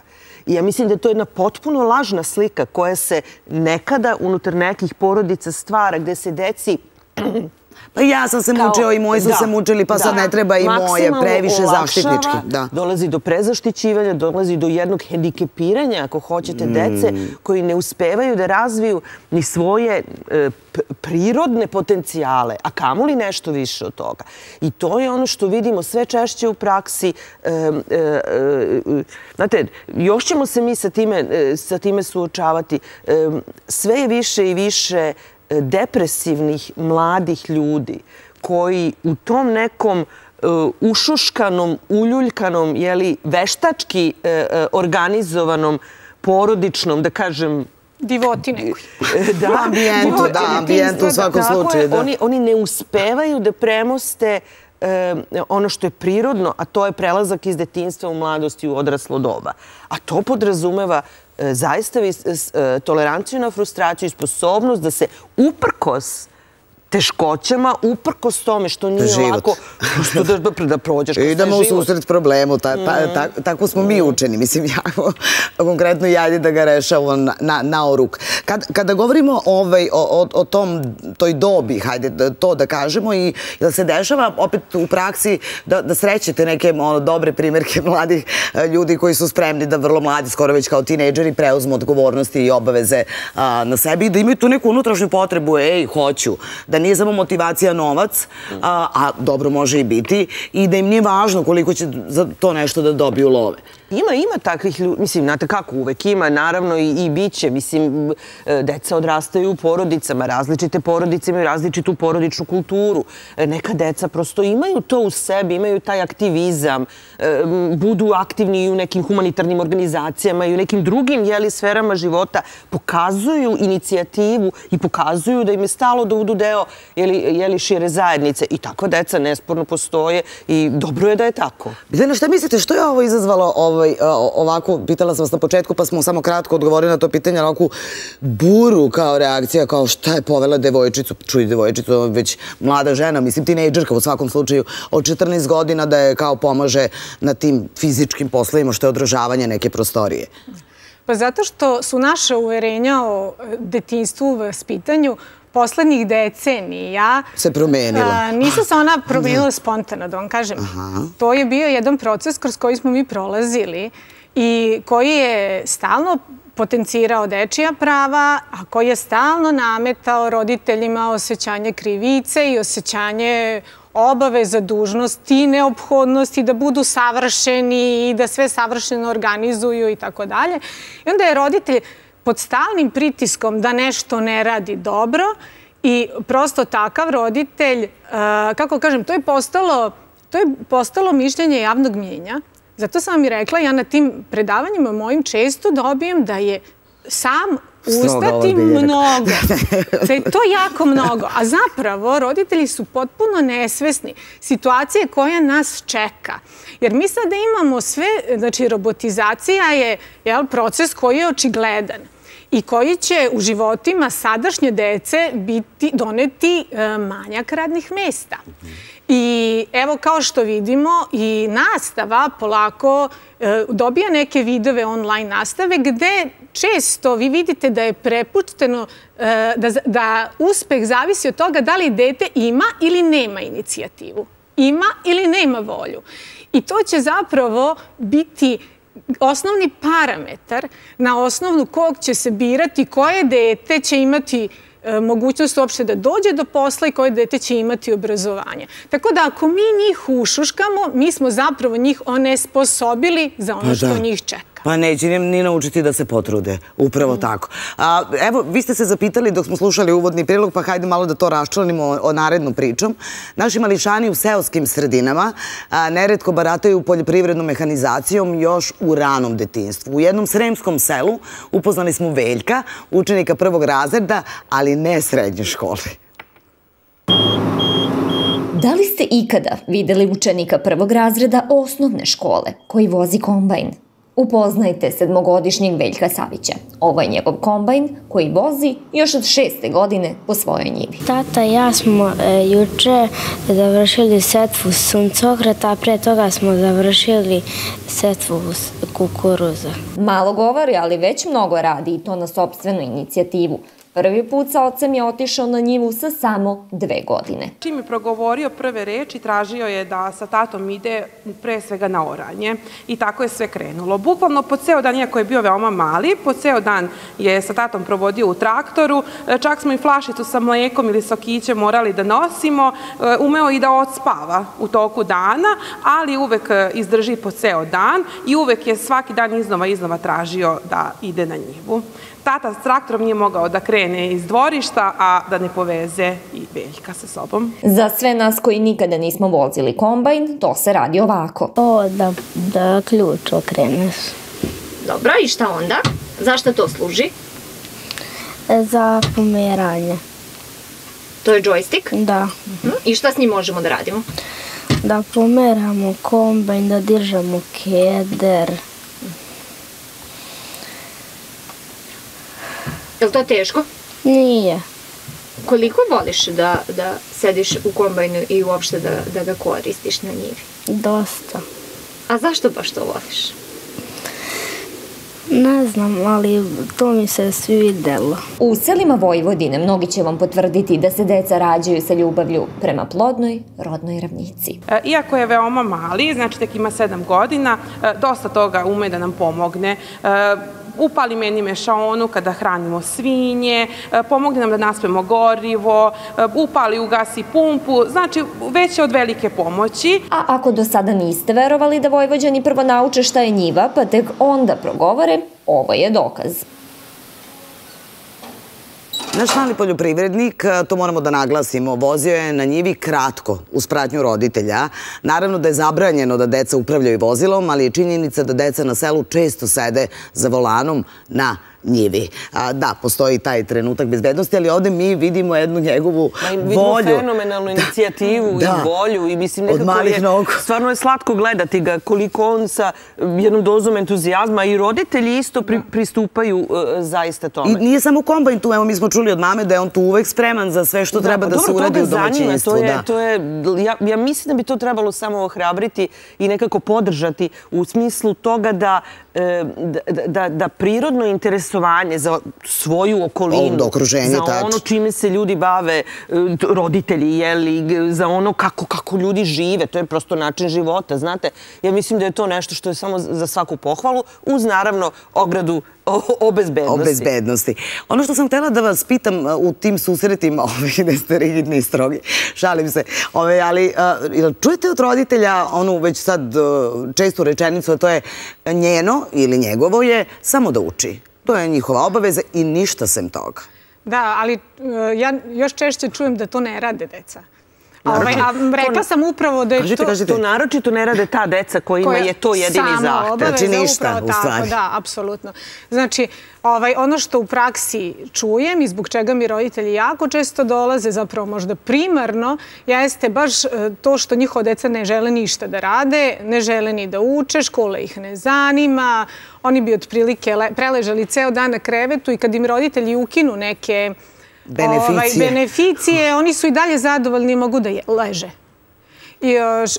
Ovaj, tako da, e, ovo što ste vi rekli, da neka e, depresija koja je mm. posledica te e, inertnosti naše dece, jeste nešto što dosta često ćemo, ja imam utisak sretati ako nešto ne promenimo. I ne samo to, to se još vezuje uz jednu lošu sliku o sebi, uz jedno nesamopouzdanje. Jer on, to dete vidi, bez obzira što je njemu to lakše i lepo, ono vidi da ono ne živi onako kako bi trebalo i da ne osjeća se da može, ne osjeća se da ima mehanizam kojim sebe može da pokrene. I onda kada se uporedi sa detetom koje je samostalno nešto naučilo, pa tamo sad ide, trenira mm. nešto, pa naučilo neki instrument, onda je sasvim logično da će zaključiti, pa ja baš i nisam neka naročita persona, nažalost. Nažalost. Nažalost, što to nije istina. Da. To je dete samo posljedica mm. života u porodici u kojoj roditelji nisu se snašli da postavlje granice. Da. A, evo mogu da preporučim gledalcima da pogledaju, dragi naše kolege iz Ciklotrona rade o savršene formate. Blejač se zove ovaj, taj format. Upravo ovo stanje o kome vas dve govorite, vi vidite da bi on, ali nikako stalno se vraća na tu klupicu, taj krevet i na jednu onako ustaljeni ritam svakodnevnog života. Kao močmara, tako, ta, tako izgleda. A, još samo jedno pitanje i nadam se kratkom odgovoru. A, kada, kada je to pravo vreme i šta treba mi ipak kao roditelji da proverimo kada vam sin ili čerka dođu i kažu e, ja bih voleo da, da počnem da radim nešto za neki honor, za neki svoj ovaj, nešto što bi želeo. Na koji način prosto to, da, da razgovaramo sa njima? Pa sad proverimo naravno bezbednost, ali je mhm. sasvim u redu da dete e, pokaže inicijativu i da radi tako neke sitne poslove kad god može da... Ovaj, a koje pravo vreme mogu, mogu osnovci? Mhm, bez problema ga mogu osnovci. Osnovci, ali da, bez problema. Da, da, da, ja mislim osnovci u starim razredima, mislim ono, sedmi i osmi razred, zašto da ne, mislim, zavisi šta je u pitanju. E da, koja vrsta poslova bi bila negde najpreporučljivija, hajde, da kažemo za početak? Znate kako, to je jako teško reći, zavisi šta je, mislim, u kom se kontekstu dete kreće, zašto je senzibilno. Uvijek možete da radite, ja znam recimo da su mladi ljudi lepili etikete na neke proizvode, to je relativno jednostavan, možda malo i dosadan posao, ali ipak to neko isto mora da uradi. Kreće se sa onim, znate, u manjim sredinama, kod nas u Vojvodini još uvijek tako, imam viška višanja, pa pošaljem dete ispred ulice, pa ono prodaje malo višnje i to su neke, ili pletu neke narukvice. Pa to pravo, A vi kad biste sada čitali, ako, ste, ako biste krenuli da čitate autobiografije uspešnih poslovnih ljudi, vi biste videli da su oni u radnim uz, u, u, tom, ranom uzrastu. u tom uh, uzrastu već krenuli, imali neku inicijativu, nešto su, i uglavnom su sami Dve važne reči su e, inicijativa, i motiv postignuća. Bravo. A, posle a, priče sa sela imamo i gradsku priču, napravili smo paralelu. Tineđeri sa Banovog brda rešili su da uzmu stvar u svoje ruke, inicijativa, i da tokom letnjeg raspusta zarade svoj džeparac. Evo da vidimo a, na koji način. A, ti si tu, Danice, sa njima. Hajde da vidimo o čemu se radi. Ja sam već ovde da, u parku na Banovom brdu koji je prošle godine pred raspust bio obilepljen upravo ovakvim oglasima i zaista taj oglas je onako celu javnost jako zainteresovao jer tu kaže da predstavlja se prvo poslodavac i kaže ja sam Alena, imam 16 godina i veliki sam obožavao od spasa i ona će upravo za jedan sat šetanja psa uzeti 300 dinara. Ali sa nama je ovde Elena. Elena, ovde je pas, Ti si uglavnom ovde u parku. Kako si uopšte krenula i kako ti je palo na pamet da napraviš ovakvu reklamu? Dobar dan. Ovaj, pomazimo malo dobro. Naravno, naravno. Dona je super kuca. Kako sam došla na ideju? Pa naravno, kao i svaku dete i svaki čovjek, ja sam htjela da nađem neki poslić preko raspusta, a i preko radnjih dana da radim I meni je palo na pamet da bih ja mogla da šetam pse. Naravno. Ako ovako šetaš ih, nije ti teško? Ne, nikada mi nije teško. Došla sam, sa, došla sam na ideju sa svojim drugom Andrejem da šetam psa i mi smo jednostavno odlučili da zajedno spo, spojimo lepo i korisno i da tako započnemo preko raspusta pre svega da šetamo. I meni se ta ideja zaista dopala i nekako prvo je sve to bilo kao na početku, malo sam bila nesigurna naravno, ali nakon nekog vremena kako sam se izveštila u svemu tome, meni je to zaista postalo. I bilo je malo poslušnijih pasa od Done, ali Dona je sad trenutno mnogo mala i ne bi ni da šeta i samo se okreće. Šta su ti rekli roditelji kad si im rekla ja želim da radim i ja želim da zaradim svoj džeparac? Pa prvo oni to nisu smatrali kao nešto ozbiljno, pošto naravno ideje se menjaju i želju u našim godinama, ali ovaj, kako se zove, kad su oni videli da sam, da sam ja to stvarno želela da, da radim i videli su da mi ide, na kraju su me podržali kao i svaki roditelj i oni nisu imali ništa protiv, složili su se skroz tako da su me podržali. A tvoji drugari? Drugari i oni su se bili svi oduševili, čak mnogi su i došli na ideju da rade to i primećivala sam čak po gradu oglasi isto za šetnju pasa. Dobila si konkurenciju? Pa. Naravno, dobila sam konkurenciju, ali mi je isto tako bilo drago što sam dala nekome motivaciju da poče sa takvim poslom, pošto ljudima je zaista to potrebno, pogotovo u gradu Beogradu. Elena, ide sada raspust ovaj od tri dana. Hoćeš li tim danima ti raditi? Kako ljudi mogu da te kontaktiraju? Naravno, radit ću i tim danima preko raspusta, kao i svakoga dana. Mogu da me kontaktiraju putem mog broja telefona i slobodno mogu da me pozovu ili pošalju poruku i ja ću uvijek biti tu da i odgovorim i da pružim svoju uslugu. I nama si se jako brzo javila. Hvala ti mnogo Dona, pošto je malo, to je hvala ti mnogo Elena. Dona nam je dosta nemirna i neposlušna. Inače, bilo jako fin pas pre uključenja, možda je zbog treme, ali, ali svakako svi oni koji žele da uh, Eleni pomognu, ali ne samo pomognu, nego da je angažuju, da ona pomogne njima, mogu da je kontaktiraju na broj telefona 062 196 0364. Očekujemo. Očekuješ pozive? Naravno, očekujem vrlo brzo. Ivon, toliko od nas za ovo uključenje. Znam, kao vlasnik... Ajmo mi onda malo da, da. poslušamo do ono ovamo. Divna je priča. Ovaj, kao vlasnik pasa prosto znam da uvijek čim se putuje sad sezona praznika postoji potreba. Evo, ovde smo dobili odgovor na, na sva pitanja koje sam ja vama postavila danas. Da, da pa ovo je, ovo je jedna divna mlada osoba koja je nekako pronašla u sebi i, i, i, i motivaciju, bila je kreativna, spojila je lepo i korisno, znate, jer ona ovo očigledno voli da radi, uživa u ovome, a kroz to, a, mislim, može radeći to to i da nešto zaradi i da uradi nešto dobro za ljude oko sebe. Znate, za zajednicu, tačno. Tako je, nije samo stvar u tih 300 dinara ili već koliko pošetnji, već u tome da, da, da, da se udružimo, da pomognemo jedni drugima. Upravo tako. Kako vi vidite ovu priču, Eleninu? Ma super mi super. Odlično, da. Da. Ja, kao, Kažite, aha. Kao praktičar, kao neko ko uglavnom svoje tekstove počinje sa kako mm. da, ja bih volela da iskoristimo ovu priliku da kažem roditeljima možda to kako da naučite dete da radi, ako vam je to u Jednu rečenicu. ne može baš u jednoj Ne može baš u jednoj. Ali ajde dobro da kažem možda ono gde najčešće greće za start, to je da usput kažu mnogo je bolje, praksa je pokazala, a pogotovo ako imamo više dece, na papirić, a tvoje za danas, tvoje za danas. Zašto? Što ne mogu da se napravim da nisam čuo, nisam video, nisam Zaboravio. Tako je. To je to. To je tvoje. Ovo je bratovo. I krenemo od tih pravila za početak. Vidimo se mi još sigurno na ove teme. Želimo da nam rastu mladi, zdravi i odgovorni ljudi kada je Srbija u pitanju. Hvala veliko što ste bile ovoga popodneva sa nama. U nastavku pričamo o jednom filmu koji je nastao iz jedne uspešne pozorišne priče. O stvarenju kom je Marko Živić ostvario svoju prvu glavnu, a nažalost i poslednju ulogu.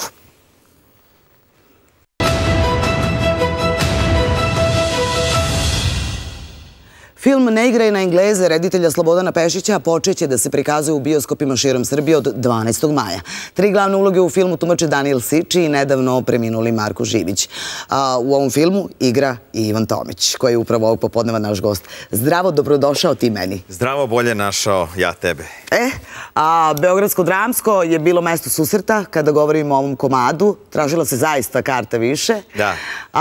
I super atmosfera uvek u klubu posle ovog komada tada i sada je neko odlučio da zapravo već, mislim, gotov je film, da? Jeste, da. Film je, film će imati 10. i 11. Beogradsku i Novosadsku premijeru, od 12. i u bioskopima kreće, dakle, njegov bioskopski život. Film je snimljen i imao je svoju festivalsku premijeru prošle godine u Nišu, na glumačkim sustrima u Nišu. Publika ga je lepo prihvatila. A sad kažeš, atmosfera posle, mhm. posle igranja, da, oko 300 puta smo odigrali tu predstavu pred punom salom atmosfera u klubu posle igranja je bila dobra i to je ono što je, na primjer, sa, sa tim dobrim predstavama, ako atmosfera u klubu i nije pre predstave tako dobra, to su te neke predstave koje ti vrate energiju i koje ono odigraš i kao budeš posle, je, mogu. Pre toga, ja ne mogu više ovo da igram i onda kao da, desilo se to. I glavni zadatak naš, zapravo Slobodana Pešića, koji govori o sebi kao reditelju koji je 30 godina bio u komi. pa gde si Slobodane? U rediteljskoj kreativnoj komi, da. Pre toga je radio jedan od mojih omiljenih filmova, Slučaj Harms, gde sam stoga isto zahvalan što se dogodio taj film sa Slobom. Ali eto, zato tu i Frane Lasića onda. Tu, eto, tu i Frane Lasića, da, da, da. Ovaj, jedan od glavnih zadataka njegov, celo kreativnog tima je bio da tu energiju, tu neku hemiju koju smo Daniel, Marko i ja imali Po tome jeste bila specifična predstava. Da, to je nešto što smo, što smo ovaj, nas trojica uspevali nekako da, da uvek stvorimo iznova. E, da tu energiju nekako prenesemo u film i da dodamo filmu još dosta nekih drugih novih stvari koje su scenaristi napisali. Povećala se stvar mnogo, film je izašao iz stana u kome se dešava, dešava se po celom Beogradu. I tako, jedva čekam. A ovo je strani pisac, a vi ste naravno stavili u kontekst Beograda. Nije strani pisac, domaći je pisac. Vlada Đurđević je. Vlada Đurđević je pisao Najdomaćiji od domaćih pisaca. domaćih, da. Je pisao ovaj komad, ovo je njegov komad sa prve ili druge godine. Mhm. Čini mi se i ja tako u Buhi nešto sam bio i sretnem Stevu Koprivicu i kao Stevo šta radiš? Kaže, ma jedan moj student je napisao sjajan komad. Ja kažem, pa daj mi da pročitam taj komad. A on kaže, daću ti, kad zovu mene sa Radio Beograda, kaže, e, radi se neki komad radio drama, ajde da vidiš. Kad ono taj komad, ja taj komad, pod mišku, pozorište, daj ovo da igramo. Pa ne znam, kaže, ma dajte ovo da igramo, voleće to publika i evo sada 12 godina kasnije imamo i film. Koje su to žene koje se ovaj, uključuju u celu ovu priču, mislim, u e, glumačkom smislu?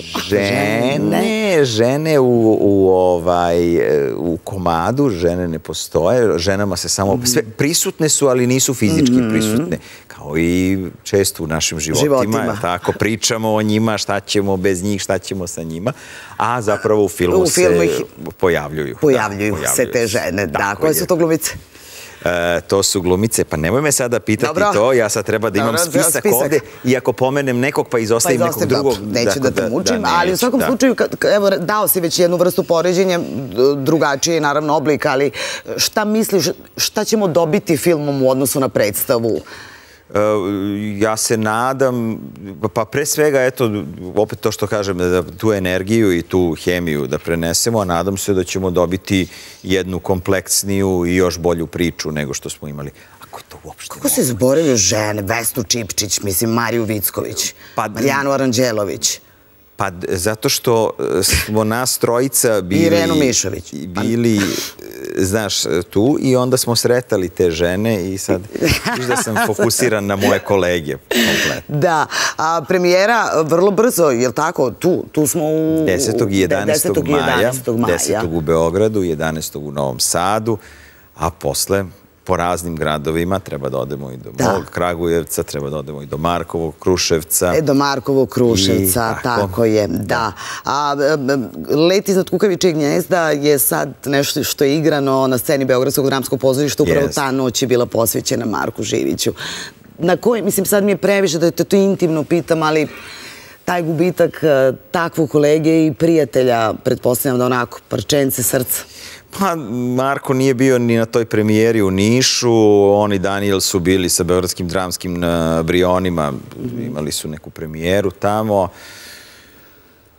I eto, to mi je žao što nije bio tu, pogotovo što je on dosta radio na tome da taj film uspe, da se taj film ovaj, pojavi. Mi smo dugo pokušavali da nađemo producente, financijere. Film nije baš podržan. Na, na kraju je iz privatnih privatnog, od privatnog novca ovaj, završen. završen, napravljen. Ovaj, ali opet kažem, eto, imamo to neko, našu neku predstavu koja je pretočena u film i to će ostati, to svedočanstvo je tu. Tako je. Ovaj, I to je, mislim, gledat ćemo i te naše uloge i Markovu ulogu ćemo moći sada da gledamo. To je nekako, Da, glavnu, glavnjak. Tako je, tako da. je. To je A nekako ti si u Nišu završeno. dobio nagradu. Jeste, dobio sam eh, povelju, tako se povelja za, spe, za mušku ulogu. Izuzetnu, specijalna Za izuzetnu Za- e, mušku ulogu. Si skroman, bre, to biće tako. Ne, vidi, ne, vidiš da sam senilan, da se ne Aha, sećam žena, se ne sećam se da je za izuzetnu. sećam da sam Počet ću da pričam za izuzetnu ženu, znaš. a, tako da, za izu, e, dakle, povelju za izuzetnu mušku ulogu. Mušku da. ulogu, Što čestitamo mi je, ti na hvala ti, najlepše što mi je drago, naravno što sam dobio nagradu, ali mi je drago i što je skrenulo malo pažnju na naš film, koji je, su neki veliki filmovi, uslovno rečeno, filmovi u koje je uloženo dosta više novca, u, u čiji marketing je uloženo dosta više novca. Mi prosto nismo imali novca da ulažemo u marketing. E, mislim da A ovaj, publika je, eto, i dobio sam nagradu za glumca večeri, što znak da je publika prepoznala negde naš rad i žiri je prepoznao naš rad, tako da onda To mi se je dešava. To, To se ovaj, dešava i kada sa su te ovakvim lopuc- ekipama se dešava. takvim glumcima. Da, da, da. Ali, ovaj, evo, pozivamo publiku da, da ponovo vidi Marka. Pozivamo publiku I da ce- i ostatak ponovo vidi. Marka i ostatak ekipe i da vidi premijeru našeg filma Ne igre na Engleze. Oni koji su gledali predstavu trebalo bi da dođu jer ima nekih divnih novih stvari. Oni koji nisu gledali predstavu moraju obavezno da dođu. 10. u Beogradu, 11. u Novom Sadu, a od 12. u bioskopima, bioskopima. širom Srbije. Dobrodošli. Hvala. Hvala vama na pažnji, mi danas toliko. Vidimo se sutra opet sa novim temama, novim energijama, novim ljudima i opet će nam biti uzbudljivo. Nadam se. Doviđenja.